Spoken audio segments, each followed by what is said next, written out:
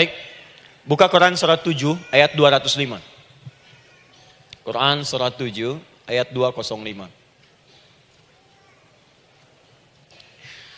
Doa itu disebut zikir di ayat itu. Jadi kalau ibu sedang berdoa, itu sedang berzikir. Wadhkur rabbaka fi nafsika tadarruan wa khifatan wa dunal jahri minal qaul. Ada ayatnya? Oke. Okay. Pakai Rabb lagi kan? Wadhkur rabbaka. Kalau engkau punya masalah, kata Allah, sekecil apa pun. Di rumah tangga kah, di kantor kah, kehidupan sosial kah. Kata Allah, ayah sebut, minta kepada Allah. Berdoa. Doa disebut dengan zikir. Zikir itu semua kegiatan yang membuat kita ingat Allah. Zikir. Baca Quran, zikir. Dalilnya Quran surah ke-15 ayat 9. Inna nahnu nazzalna zikra. Kami turunkan Al-Quran sebagai zikir. Menghafal Quran, zikir. Quran surah 54 ayat 17, ayat 22, ayat 32, ayat 40. Walaqad yassarnal Qur'ana lidzikri kami akan mudahkan Al-Quran untuk diingat, dihafalkan. Zikir, sebagai zikir kepada Allah. Ibu selepas sholat, baca subhanallah, alhamdulillah, Allahu Akbar, zikir. Quran surah keempat, ayat 103. Fa'idha qadaitumus salata fadhkurullah. Maka jika anda telah tuntas mengerjakan sholat, segera berzikir kepada Allah. Sholat sendiri, zikir. Quran Surah ke-20 ayat ke-14. Innani anallahu la ilaha illa ana fa'budni wa aqimis salata li zikri. Saya Allah, kata Allah. Tidak ada Tuhan selain saya. Sembah saya. Bagaimana menyembah Allah? Tunaikan sholat sebagai zikir kepada Allah. Zikir. Di zikir semua amalan yang mendekatkan kita dengan Allah. Doa itu satu dari bagian zikir. Tapi tahukah ibu fungsi zikir yang paling utama itu apa? Quran surah 13 ayat ke-28. Ala bidzikrillahi tatmainnul qulub. Yakinkan pada dirimu kalau zikirmu benar kepada Allah, maka dia akan berdampak kepada hati menjadi lebih tenang. Di zikir itu manfaat pertamanya membuat hati tenang, Bu. Tadi saya contohkan. Baca Al-Qur'an zikir kan? Jadi kalau ibu sedang tidak tenang, sedang gelisah, ada masalah, daripada mengeluh sana sini, wudhu, bu, wudhu. Ambil mushaf. Baca. Saat baca itu mungkin solusi belum datang, tapi hati itu lebih tenang. Kaitan dengan bahasan kita doa, minta. Doa. Jadi kalau orang punya masalah itu kalau berdoa, walaupun solusinya belum datang, walaupun kemudian jawabannya belum tiba, minimal hati ibu itu tenang. Ini dia. Kan surah 13 ayat 28. Rumus ini pakai. Gunakan dalam hidup. Karena yang tahu kehidupan kita itu Allah yang menciptakan kita. Yang tahu pesawat, yang bikin pesawat. Yang tahu handphone, yang bikin handphone. Yang tahu mikrofon, yang bikin mic-nya. Yang tahu kita, yang menciptakan kita. Ikutilah petunjuk Allah yang menciptakan kita, maka akan langsung terasa manfaatnya. Ibu tidak percaya, silahkan lakukan. Rasakan bedanya, bedakan rasanya, dan pasti akan terasa bedanya. Akan lain. Tuh. Doa. Tapi ingat yang paling penting kata Allah, doa itu bukan sekedar penting permohonannya, tapi menunjukkan status kita sebagai hamba di hadapan Allah Subhanahu wa taala.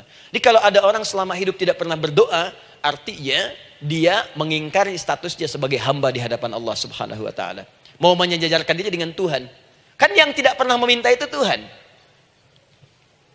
Allah yang memberikan, kalau manusia beda pasti minta. Artinya kalau ada manusia nggak pernah minta, seakan-akan bahasa halusnya kamu ini ngaku jadi Tuhan. Saya tempatkan kau di neraka jahanam yang paling bawah.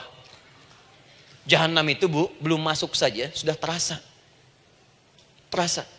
Buka ibu Quran surah misalnya ke-40 Ghafir tuh. Ya, ayat 45 sampai dengan 47-nya. Sebelumnya lagi, lihat Quran surah ke-8, ayat ke-50. Itu penghuni neraka bu, yang bukan jahanam, yang bukan jahanam saja. Penghuni neraka itu kalau mau meninggal itu dipukulin dulu malaikat. Depan belakangnya. Ayo kamu keluar, keluar. Lama amat keluarnya rohnya katanya. Takut karena nggak punya bekal. Kan maaf ya, kaidah mengatakan orang nggak punya bekal itu takut pulang. Apalagi orang merasa salah. Anak ibu berbuat kesalahan, mau pulang takut kan? Takut. Jadi kalau ada anak takut pulang, salah dia. Salah. Ke mana anak nggak pulang-pulang? Pasti ada yang salah karena nggak berani pulang. Jangankan salah, nggak punya bekal saja, malu pulang.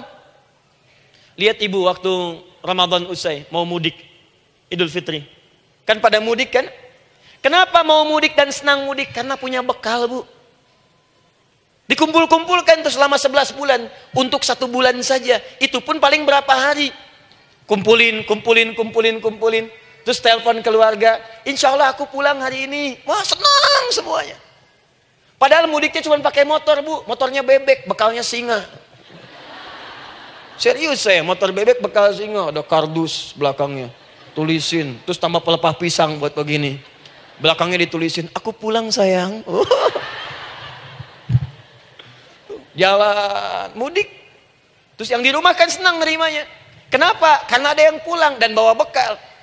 Saya pernah tanya pada seseorang, kenapa anda nggak mudik? Nggak ada bekal Ustaz, nggak ada bekal, malu pulang.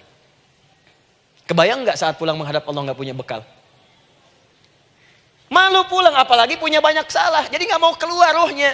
Malaikatnya geram, dipukulin sama malaikat. Pukul depannya, pukul depan. Kamu ini cepat keluar, cepat keluar, cepat keluar. Keluar, keluar, keluar, keluar, keluar malu pulang. Tapi kalau punya bekal enak. Dan yang nyambut langsung malaikat. Bahkan nanti ada satu amalan saat dikerjakan, itu orang ini sudah masuk surga, tapi semua malaikat di semua pintu surga yang delapan itu datang mengunjungi dia mengucapkan selamat. Itu ada di Quran surah 13 ayat 24. Salamun alaikum bima sabartum fa ni'ma Selamat ya saat di dunia sabar mencari bekal dan ini bekal terbaik yang kamu dapatkan, silahkan nikmati surga yang kamu rindukan itu. Ini nikmat-nikmatnya tempat yang pernah nanti kamu kunjungi. Dan tinggal abadi di situ. Yang nyambut malaikat. Bayangkan semua malaikat bu, semua malaikat dari pintu surga datang nyambut dia. Wah, masya Allah, malaikat Jibril, Srofil, malaikat maut. Maaf ya, dicabut kemarin. Biasa, selamat, selamat, selamat, selamat, selamat. Dunia aja kalau ada yang nyambut senang kan? Rumah dicet, datang sambut depan rumah, semua hidangan ada. Oh, masya Allah. Bahkan yang tidak ada jadi ada. Luarnya kongguan, dalamnya rangginang gitu kan. Wah, muncul semua.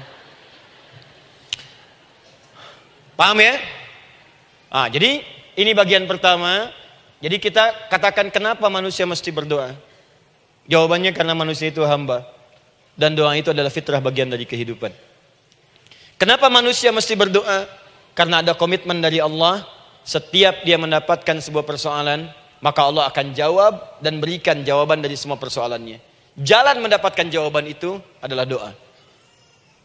Kenapa manusia mesti berdoa? Karena dia butuh dengan Allah. Dan puncaknya, kenapa dia mesti berdoa? Karena Allah ingin membahagiakan kehidupan dunianya sebelum sampai keabadiannya di akhirat. Jadi ketika kita berdoa, sebetulnya kebaikan untuk kita karena Allah ingin kita bahagia. Ingin mudah hidupnya. Jadi kalau ada orang nggak berdoa, sesungguhnya dia sedang menyulitkan diri sendiri dalam kehidupan dunianya sampai ke akhiratnya. Jelas sampai di sini? Masya Allah. Alhamdulillah. Baik, kalau sudah paham, saya hapus ini. Kita masuk bagian yang kedua. Hapus lagi. Sab Muslimah edisi ke-15. 15 kali datang sendiri, ngilangin sendiri nulis sendiri, ngapus sendiri. Masya Allah. Tinggal lihat, catat, masuk surga. Uh. Masya Allah. Alhamdulillah. Baik. Baik. Sudah? Alhamdulillah. Uh, saya ingin setiap pembahasan kita dipahami ya. Saya tidak menyukai kalau datang uh, melihat tapi nggak paham gitu. Ya, dengar tapi nggak paham. Saya tidak ingin satupun keluar dari sini kecuali paham. Ya. Ibu paham? Paham Ustaz. Pada pamit ya, silahkan. Apa yang ibu pahami? Doa. ya. Dah. Nah, sekarang masuk bagian kedua. Bismillah. Kalau sudah mengerti yang tadi, persoalannya adalah bagaimana cara kita memohon kepada Allah. Itu dia. Bagaimana cara kita meminta? Kata Allah, kamu kalau punya masalah minta. Ya Allah caranya bagaimana? Karena sesuatu yang dikerjakan tanpa ilmu, dan tidak tahu caranya, itu bisa keliru. Hidup itu menyembah Allah tidak cukup dengan iman, Bu. Mesti pakai ilmu. Iman saja sekalipun kuat tanpa ilmu, itu bisa salah. Kuat ingin mendekat kepada Allah. Ya Allah, ya Allah, aku ingin ibadah, aku ingin ibadah. Kuat. Saya punya kawan dulu di pesantren. Tahun kedua, dia sudah berubah. Ya, tadinya orang tuanya melihat anaknya, masya Allah, tiba-tiba ada perubahan, senang ibadah bu. Malam-malam dia bangun, ini kisah nyata, saya alami sendiri. Masya Allah, saya senang sekali. Kita saling doakan, dia bangun malam tahajud. Bangun jam 2, Anda bayangkan. Yang sebelumnya menjelang subuh atau apa. Ini malam Jumat lagi, malam libur. Malam libur biasanya santri itu kebanyakan ada yang keluar, ada yang main, ada yang macam-macam. Ini dia malam tahajud. Jam 2 bangun. Saya bahagia sekali. Udah bangun, sholat, sholat, sholat, sholat, selesai. Cuman pas waktu mau subuh, kok saya lihat tidur. Ah, saya bangunkan kan? Fulan, bangun. Oh iya, kata iya. Oh mungkin nanti mau nyusul. Saya pikir istirahat dulu. Saya ke masjid lah. Udah ke masjid dah selesai. Kita diskusi di masjid selesai. Semua pulang saya jam 7. Saya lihat masih tidur juga. Ah barangkali dia sudah tadi sholat mungkin di kamar nggak sempat ke masjid karena capek. Tapi saya lihat kok posisinya nggak berubah. Di situ juga. Akhirnya setengah jam saya tunggu, saya bangunkan. Hi, bangun. Bangun. Kenapa Adi katanya? Saya kira antum belum sholat subuh ya? Adi gimana sih? Kan udah saya jama dengan tahajud tadi. Udah saya jama dengan tahajud. Jadi memang kekuatan imannya lagi tinggi, cuman ilmunya kosong. Ini yang bahaya. Besok-besok kalau orang kayak gini sholat subuh bisa empat rakaat. Karena itu berdoa penting, cuma kita mesti tahu caranya. Yuk kita mulai bagian pertama. Quran surah kedua ayat 186, paling kiri sebelah bawah. Sudah? Wa idza sa'alaka 'ibadi 'anni fa inni qarib. Fokus. Kata Allah, kalau hamba-hambaku Muhammad SAW bertanya kepadamu minta petunjuk untuk mencari-cari aku. Tuh Bu, coba lihat. Ayat doa dibuka lagi dengan kalimat hamba. Untuk menegaskan status kita. Jadi kalau ditanya, kita siapa di hadapan Allah? Makanya nggak usah sombong. Jangan sombong, karena kita cuma hamba. Karena itu ketika korun sombong, korun tuh manusia terkaya yang pernah hidup di bumi. Hartanya bu, ini saya kasih bocoran sedikit, kunci berangkasnya saja, ke mana-mana itu suka dibawa, dipikul paling sedikitnya 8 bodyguard, cuman bawa kunci berangkas saja begini. Di korun pengen ngasih tahu, kalau ada yang pengen nyuri di tempat saya silahkan aja, ini aja bodyguard saya ngangkat kuncinya susah. Korun. Jadi kalau anda tidak tidak sekaya korun, jangan ikutan sombong, telat. Telat, gak ada kerjaan, sudah ada yang lebih kaya. Ya, dan apa yang terjadi? Fakhosabna kata Allah kami telan. Likuifasi. Telan oleh bumi semua. Dengan kekayaannya semua habis.